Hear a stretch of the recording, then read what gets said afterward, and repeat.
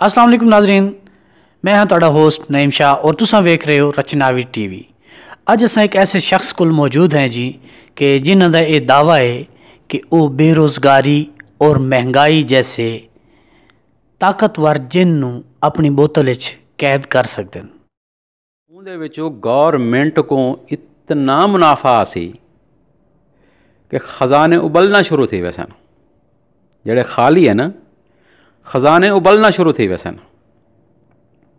ਠੀਕ ਹੈ ਜੀ। ਉਹਦੇ ਨਾਲ ਮਹਿੰਗਾਈ ਵੀ ਖਤਮ ਥੀ ਵੈਸੀ। ਨਾਲੇ ਬੇਰੋਜ਼ਗਾਰੀ ਖਤਮ ਥੀ ਵੈਸੀ। ਕਿਵੇਂ?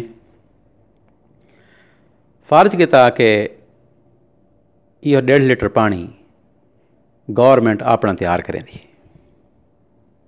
ਠੀਕ ਹੈ ਜੀ। ਮਿਸਾਲ ਅਸਾਂ ਉਹਦਾ ਨਾਮ ਪੀਟੀਆਈ ਰੱਖ ਲਿੱਤੇ ਨੈਸਲੇ ਨਾ? ਅਸਾਂ ਬੋਤਲ ਦਾ ਨਾਮ ਪੀਟੀਆਈ ਰੱਖ ਲਿੱਤੇ ਉਹਦੇ ਵਿੱਚ ਪਾਣੀ ਤਾਂ ਸੇਮ ਹੈ ਨਾ। ਉਹ ਹਮਿਆਰ ਜੋ ਨੈਸਲੇ ਦਾ ਹੈ ਸੇਮ।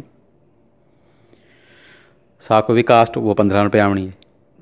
ਜਿਹੜੇ ਫੈਕਟਰੀ ਮੁਨਾਫਾ ਗਿਣਦੀ ਪਈ ਹੈ ਉਹ ਮੁਨਾਫਾ ਗਵਰਨਮੈਂਟ ਦੇ ਖਜ਼ਾਨੇ 'ਚ ਵੈਸੀ? ਬਿਲਕੁਲ ਬਿਲਕੁਲ ਗਵਰਨਮੈਂਟ ਦੇ ਖਜ਼ਾਨੇ 'ਚ ਵੈਸੇ ਜਾਇਜ਼ ਇਹੋ ਮੁਨਾਫਾ ਨੈਸਲੇ ਦੇ ਖਜ਼ਾਨੇ 'ਚ ਵੰਦਾ ਪਿਆ। ਇਹ ਹੁਣ ਗਵਰਨਮੈਂਟ ਦੇ ਖਜ਼ਾਨੇ 'ਚ ਆਉਣਾ ਸ਼ੁਰੂ ਥੀ ਵੈਸੀ। ਨੰਬਰ 1 ਨੰਬਰ 2 ਜਿਹੜਾ ਟੈਕਸ ਕੰਪਨੀਆਂ ਨਹੀਂ ਦੇਣੀਆਂ ਜਾਂ ਚੋਰੀ ਕਰੇ ਨੇ। ਠੀਕ ਹੈ ਜੀ? ਉਹ ਟੈਕਸ ਪੂਰਾ 100% ਉਹ ਖਜ਼ਾਨੇ 'ਚ ਵੈਸੀ ਕਿਉਂਕਿ ਬਾਕੀ ਤਾਂ ਚੋਰੀ ਕਰੇ ਨੇ ਨਾ। ਇਹ ਤਾਂ ਗਵਰਨਮੈਂਟ ਦਾ ਹੈ। ਇਹਦੇ ਤਾਂ ਇੱਕ ਲੀਟਰ ਇੱਕ ਬੋਤਲ ਵੀ ਅੱਗਾਂ ਪਿਛਾ ਨਹੀਂ ਥੀ ਸਕਦੀ। ਟੋਟਲ ਖਜ਼ਾਨੇ 'ਚ ਟੈਕਸ ਵੀ ਆਇਆ। ਠੀਕ ਹੈ ਜੀ? ਨੰਬਰ 3 ਜਿਹੜੇ ਅਸਾਂ ਟੈਕਸ ਵਾਸਤੇ ਅਸਾਂ ਇਦਾਰੇ ਬਣਾਏ ਹੋਏ ਹਨ, ਲੋਕ ਇਹ ਕੀਤੇ ਹੋਏ ਹਨ, ਉਹਦੇ ਵਿੱਚ ਜਿਹੜੀ ਕਰਪਸ਼ਨ ਥੀਂਦੀ ਹੈ ਉਹ ਮਾਮਲਾਤ ਵੀ ਖਤਮ ਥੀ ਵੈਸਨ ਉਹ ਡਾਇਰੈਕਟ ਚਲੀ ਵੈਸੇ ਠੀਕ ਹੋ ਗਿਆ ਜੀ ਇਹ ਮਾਮਲਾ ਸਿੱਧੇ ਥੀ ਵੈਸਨ ਹੁਣ 15 ਰੁਪਏ ਵਾਲੀ ਜਿਹੜੀ ਬੋਤਲ ਹੈ ਜੋ ਕਿ 60 ਰੁਪਏ ਦੀ ਮਿਲਦੀ ਪਈ ਏ ਅਸਾਂ ਉਹਦਾ ਰੇਟ ਕਰ ਰਹੇ ਨੇ 30 ਰੁਪਏ ਯਾਨੀ ਤੁਸੀਂ ਹਾਫ ਕਰ ਦਿੰਦੇ ਹੋ ਉਸ ਦਾ ਰੇਟ 50% ਮਹਿੰਗਾਈ ਕਮ ਹੋ ਗਈ ਬਿਲਕੁਲ ਇਹਦੇ ਵਿੱਚ ਕੋਈ ਸਾਇੰਸ ਹੋਵੇ ਤਾਂ ਸ਼ਾਹ ਸਾਹਿਬ ਦੱਸੋ ਕੋਈ ਨਹੀਂ ਨਾ ਕੋਈ ਕਹਿੰਦਾ ਨੁਕਸਾਨ ਤੇ ਨਹੀਂ ਕੋਈ ਨਹੀਂ ਨਾ ਬਿਲਕੁਲ 15 ਰੁਪਏ ਵਾਲ ਵੀ ਬਚ ਗਏ ਗਵਰਨਮੈਂਟ ਕੋ 15 ਰੁਪਏ ਦੀ ਦੇ ਕੇ ਉਹ ਮੁਨਾਫਾ ਜਿਹੜਾ ਫੈਕਟਰੀ ਗਿੰਦੀ ਪਈ ਉਹ ਹੀ ਖਜ਼ਾਨੇ 'ਚ ਗਿਆ। ਜੋ ਟੈਕਸ ਵਸੂਲ ਨਹੀਂ ਥੀਂਦਾ ਉਹੀ ਖਜ਼ਾਨੇ 'ਚ ਗਿਆ ਪੂਰਾ ਪੂਰਾ। 15 ਰੁਪਏ ਮਜ਼ੀਦ ਵੀ ਬਚ ਗਏ ਠੀਕ ਹੈ ਜੀ? ਹੁਣ ਉਹ 15 ਰੁਪਏ ਜਿਹੜੇ ਹਨ, ਉਹ ਇੱਕ ਬੋਤਲ ਜਿਹੜੀ ਹੈ, ਉਹ ਜਨਾਬ ਕੋ ਜ਼ਰੂਰਤ ਹੈ ਗਵਰਨਮੈਂਟ ਨੇ ਆਖਿਆ ਵੀ ਇਹ ਬੋਤਲ ਮੇਰੇ ਕੋਲ ਗਿਣੋ। 60 ਰੁਪਏ ਦੀ ਗਿਣਦੇ ਬੈਠੇ ਹੋਏ ਨੈਸਲੇ ਦੀ ਇਹ ਗਿਣੋ 30 ਰੁਪਏ ਦੀ ਤੁਸੀਂ ਭਾਜ ਕੇ ਗਿਣ ਸੋ ਬਿਲਕੁਲ ਹਾਫ ਕੀਮਤ ਹੈ ਯਾਦ ਹੈ ਹੁਣ ਅੱਗੋਂ ਤੋਂ ਆਕੋ ਆਖਿਆ ਵੈਂਦੇ ਵੀ ਅਗਰ ਤੁਸੀਂ ਇਹ ਤਰਾਏ ਬੋਤਲਾਂ ਅੱਗਾ ਮਜ਼ੀਦ ਸੇਲ ਕਰਵਾ ਰਹੇ ਵੇ ਅਗਰ ਸਾਨੂੰ ਲੋਕਾਂ ਕੋ ਦਸੇਂਦੇ ਵੇ ਕਿ ਇੱਥੋਂ ਕੋਲ ਗਿਣੋ ਤਾਂ ਕੋ 60 ਰੁਪਏ ਵਾਲੀ ਚੀਜ਼ 30 ਰੁਪਏ 'ਚ ਮਿਲ ਸੀ ਤਾਂ ਉਹ ਵੀ ਤਾਂ ਭਜਦੇ ਆਸਨ ਹੁਣ ਉਹ ਜਿਹੜੇ ਤੁਹਾਨੂੰ ਤਾਰੇ ਰੈਫਰੈਂਸ ਨਾਲ ਤਰਾਏ ਬੋਤਲਾਂ ਸੇਲ ਥਈਆਂ ਤਾਂ 45 ਰੁਪਏ ਮਜ਼ੀਦ ਪ੍ਰੋਫਿਟ ਆ ਗਿਆ ਜਾਇਜ਼ ਹੈ ਉਹ 45 ਰੁਪਏ ਦੇ ਵਿੱਚੋਂ 5 ਰੁਪਏ ਫੀ ਬੋਤਲ 15 ਰੁਪਏ ਤੁਹਾਨੂੰ ਦੇ ਦੇਣੇ ਅਸਾਂ ਠੀਕ ਹੈ ਜੀ? ਕਿਉਂਕਿ ਤੁਸੀਂ ਤਰੇ ਬੋਤਲਾਂ ਵਿਕਵਾਏ ਨਾ ਤੁਹਾਡੀ ਵਜ੍ਹਾ ਤੋਂ 45 ਰੁਪਏ ਦਾ ਫਾਇਦਾ ਥੀ ਹੈ।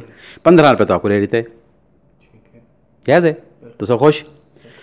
ਹੁਣ ਉਹ ਤਰੇ ਬੰਦੇ ਜਿਹੜੇ ਹਨ ਉਹਨਾਂ ਨੇ ਅੱਗੋਂ ਵੱਲ ਤਰੇ ਤਰੇ ਲੋਕਾਂ ਕੋ ਦੱਸੇ ਕਿ ਯਾਰ ਸਾ ਪਾਣੀ ਤਾਂ ਗਿਣਨੇ ਨਾ ਉਹ ਪਾਣੀ ਤੁਸੀਂ ਇੱਥੋਂ ਗਿਣ ਗਿਣੋ। ਔਰ ਸਸਤਾ ਵੀ ਹੈ। ਸਸਤਾ ਵੀ ਹੈ। ਉਹ ਵੀ ਭੱਜ ਗਿਆ ਸਨ। ਠੀਕ ਹੈ ਜੀ ਨੌ ਲੋਕ ਥੇ ਗਏ ਤਾਂ ਉਹ ਹੁਣ ਜਿਹੜਾ ਹੈ ਪਹਿਲੇ 45 ਰੁਪਏ ਦਾ ਪ੍ਰੋਫਿਟ ਆਈ ਹੁਣ 135 ਰੁਪਏ ਦਾ ਥੀ ਗਿਆ ਠੀਕ ਹੈ ਜੀ ਹੁਣ ਉਹਨਾਂ ਤਰੇ ਲੋਕਾਂ ਕੋ 15 15 ਰੁਪਏ ਦਿੱਤੇ ਵੰਜੇ ਨਾ। 30 ਰੁਪਏ ਤੋਂ ਕੋ ਬੈਰੇ ਦਿੱਤੇ ਵੰਜੀ ਜੇ। ਠੀਕ ਹੈ ਨਾ ਜੀ ਇਵੇਂ ਇਹ ਕੋ ਚੈਨ ਸਿਸਟਮ ਆਖ ਸਕਦੇ ਵੇ ਰੈਫਰਲ ਸਿਸਟਮ ਆ ਸਕਦੇ ਵੇ ਇਵੇਂ ਰੈਫਰੈਂਸ ਟੂ ਰੈਫਰੈਂਸ ਉਹ ਅੱਗਾ ਅੱਗਾ ਅਸਾਂ ਲੋਕ ਫੈਲਾਉਂਦੇ ਵੈਸੋਂ ਠੀਕ ਹੈ ਜੀ ਉਹ ਚੀਜ਼ ਫੈਲਦੀ ਵੈਸੀ ਸੇਲ ਥੀਂਦੀ ਵੈਸੀ ਉਹ ਜਿਹੜਾ ਪ੍ਰੋਫਿਟ ਆਸੀ ਉਹ ਸਾਰੇ ਲੋਕਾਂ ਦੇ ਉੱਤੇ ਤਕਸੀਮ ਥੀਂਦਾ ਵੈਸੀ ਠੀਕ ਹੈ ਨਾ ਜੀ? ਉਹਦੇ ਨਾਲ ਸਾਡੀ ਬੇਰੋਜ਼ਗਾਰੀ ਵੀ ਖਤਮ ਥੀ ਵੈਸੀ ਮਹਿੰਗਾਈ ਖਤਮ ਹੋ ਗਈ 60 ਰੁਪਏ ਵਾਲੀ ਚੀਜ਼ 30 ਦੇ ਆ ਗਈ। ਉਹ ਜਿਹੜੇ ਬਾਕੀ 15 ਰੁਪਏ ਬੱਚੇ ਹਨ ਉਹ ਜਿਹੜੇ ਆਵਾਮ ਦੇ ਉੱਤੇ ਤਕਸੀਮ ਥੀ ਸਨ ਸਾਰੇ ਲੋਕਾਂ ਦੇ ਤਕਸੀਮ ਥੀ ਸਨ ਉਹ ਮਹਿੰਗਾਈ ਵੀ ਖਤਮ ਥੀ ਵੈਸੀ ਠੀਕ ਹੋ ਗਿਆ? ਯਾਨੀ ਇਹ ਇਹ ਤੁਹਾਡਾ ਤਰੀਕਾ ਕਾਰ ਹੈ ਇਹ ਮਹਿੰਗਾਈ ਨੂੰ ਕੰਟਰੋਲ ਕਰਨ ਦਾ ਇੱਕ ਫਾਰਮੂਲਾ ਹੈ। ਇਲਾਵਾ ਈਨ ਤੋਂ ਇਲਾਵਾ ਜਿਹੜੀ ਜਮਹਾਰ ਸ਼ਾਹ ਸਾਹਿਬ ਪਾਕਿਸਤਾਨ ਬਣੇ ਉਹ ਵਾਲੇ ਪਾਕਿਸਤਾਨ ਦੀ ਕਿਆ ਪੋਜੀਸ਼ਨ ਆਈ ਉਹ ਵਾਲੇ ਡਾਲਰ ਕਿਤਨੇ ਦਾ ਆਈ ਅਸਾਂ ਵਾਲੇ ਕਰਜ਼ੇ ਲੈਂਦੇ ਹਸੇ ਅੱਜ ਕਰਜ਼ੇ ਘਿੰਦੇ ਪਏ ਹੈ ਠੀਕ ਹੈ ਜੀ ਹਾਲ ਹਾਲਾਤ ਕਿਆ ਹਨ ਹਿਸਟਰੀ ਮੌਜੂਦ ਹੈ ਕਿ ਮੇਰੀ ਗੱਲ ਤਾਂ ਨਹੀਂ ਨਾ ਹਰ ਚੀਜ਼ ਸਾਹਮਣੇ ਪਈ ਡੇ ਬਾਈ ਡੇ ਮਹਿੰਗਾਈ ਵੱਧਦੀ ਗਈ ਹੈ ਕਿਹੜੀ ਜਮਾਰ ਖ- ਖਤਮ ਥਈ ਹੈ ਕਿਹੜੀ ਸ਼ੈ ਤਲੇ ਆਈ ਹੈ ਹਿਸਟਰੀ ਮੌਜੂਦ ਹੈ ਨਾ ਜੀ ਤਕ- ਤਕਰੀਬਨ ਵੱਧੀ ਗਈ ਵੱਧਦੀ ਗਈ ਅੱਜ ਇਹੋ ਫਾਰਮੂਲਾ ਅੱਜ ਇਸਤੇਮਾਲ ਚਾ ਕਰੋ ਹਰ ਚੀਜ਼ ਇਵੇਂ ਤਲੇ ਆਵੇ ਸੀ। ਇਵੇਂ ਥੀ ਵੈਸੇ ਜਿਵੇਂ ਗੁਬਾਰੇ ਚੋਂ ਹਵਾ ਨਹੀਂ ਨਿਕਲਦੀ, ਇਵੇਂ ਹਰ ਚੀਜ਼ ਤਲੇ ਆਵੇ ਸੀ। ਕੋਈ ਸਾਇੰਸ ਨਹੀਂ, ਕੋਈ ਅਲਜਬਰਾ ਨਹੀਂ, ਕੋਈ ਰਿਆਜ਼ੀ ਨਹੀਂ, ਕੋਈ ਐਸੀ ਚੀਜ਼ ਕਹਿਣੀ ਜਿਹੜੀ ਸਮਝ ਚ ਨਾ ਆਉਂਦੀ ਹੋਵੇ। ਸਿੱਧੀ ਸਿੱਧੀ ਗੱਲ ਹੈ। ਸਰ ਮਿਡਲ ਲਿੰਕਸ ਕੋਲ 5% ਵੀ ਕੋਈ ਨਹੀਂ। ਇਹਨਾਂ ਨੇ 95% ਲੋਕਾਂ ਦਾ ਉੱਤੇ ਰਾਜ ਕੀਤਾ ਹੋਇਆ ਹੈ। ਜਿਹੜਾ ਹੀ ਗੱਲ ਕਹੇ ਕੋਈ ਇਲਮ ਨਹੀਂ, ਪਤਾ ਹੀ ਕੋਈ ਨਹੀਂ। ਅਗਰ ਅਸਾਂ ਆਵਾਮ ਹੀ ਅਸਾਂ ਇਕੱਠੇ ਥੀ ਵञूं ਅਸਾਂ ਹੀ ਤਰੀਕੇ ਦੇ ਨਾਲ ਅਸਾਂ ਆਪਣੇ ਚੀਜ਼ਾਂ ਗਿਣਨ ਪੈ ਵञूं ਠੀਕ ਹੈ ਜੀ ਸਾਕੋ ਗਵਰਨਮੈਂਟ ਦੀ ਸਪੋਰਟ ਦੀ ਵੀ ਜ਼ਰੂਰਤ ਕੋਈ ਨਹੀਂ ਠੀਕ ਹੈ ਜੀ ਇਹ ਲੋਕ ਅਸਾਂ ਹੈ ਜਿਹੜੇ ਚੀਜ਼ਾਂ ਬਣਾਉਂਦੇ ਹੈ ਫੈਕਟਰੀ ਵਿੱਚ ਅਸਾਂ ਲਈ ਹੋਈਆਂ ਹਨ ਚੀਜ਼ਾਂ ਬਣਾਉਂਦੇ ਵੀ ਅਸਾਂ ਹੈ ਦੇਂਦੇ ਵੀ ਅਸਾਂ ਹੈ ਘਿੰਦੇ ਵੀ ਅਸਾਂ ਹੈ ਇਹ ਲੋਕ ਹੈ ਨਾ ਇਹ ਸਿਸਟਮ ਦੇ ਨਾਲ ਕਹੀਂ ਕੋਈ ਫ਼ਰਕ ਨਹੀਂ ਪਾਉਣਾ ਕਹੀਂ ਫੈਕਟਰੀ ਕੋਈ ਵੀ ਫ਼ਰਕ ਨਹੀਂ ਪਾਉਣਾ ਜਿਤਨਾ ਵੀ ਮਿਸਾਲ ਫੈਕਟਰੀਆਂ ਹਨ ਅੱਛਾ ਇਹਦੇ ਨਾਲ ਸਰ ਵੀ ਪੂਰਾ ਇੱਕ ਨਿਜ਼ਾਮ ਜਿਹੜਾ ਹੈ ਨਾ ਸਰ ਠੀਕ ਥੀ ਵੈਸੀ। ਅਗਰ ਇੱਕ ਕੰਮ ਕੀਤਾ ਵੰਜੇ ਨਹੀਂ ਹੋ ਪੂਰਾ ਨਿਜ਼ਾਮ ਠੀਕ ਥੀ ਵੈਸੀ। ਹੁਣ ਆ ਗਈ ਮਿਲਾਵਟ। ਠੀਕ ਹੈ ਨਾ ਜੀ? ਚੀਜ਼ਾਂ ਖਾਲਸ ਨਹੀਂ ਮਿਲਦੀਆਂ ਨਾ। ਨਹੀਂ ਮਿਲਦੀ ਉਹ ਹੀ ਖਤਮ ਥੀ ਵੈਸਨ ਜੇ ਲੈਵਲ ਗਵਰਨਮੈਂਟ ਲੈਵਲ ਦੇ ਚੀਜ਼ ਇਹ ਆਵੇ ਸੀ ਹੁਣ ਗਵਰਨਮੈਂਟ ਕੋਈ ਆਪਣੇ ਫੈਕਟਰੀ ਨਾ ਲਾਵੇ ਕੁਝ ਵੀ ਨਾ ਕਰੇ।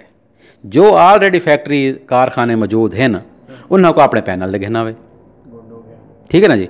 ਉਹਨਾਂ ਕੋ ਆਖਣ ਬਈ ਮਿਸਾਲ ਘੀ ਹੈ ਉਹਦੇ ਕਾਸਟ ਹੈ ਨਾ?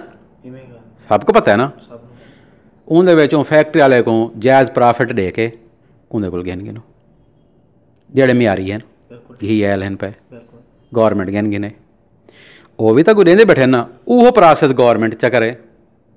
ਠੀਕ ਹੈ। ਜਾਇਜ਼ ਹੈ ਰੇਟ ਕਮ ਹੋ ਗਿਆ। ਜਿਹੜਾ ਵਿੱਚ ਕੁਝ ਪ੍ਰੋਫਿਟ ਰੱਖਣੇ ਉਹ ਆਵਾਮ ਦੇ ਤਕਸੀਮ ਕਰ ਦੇਵਣੇ।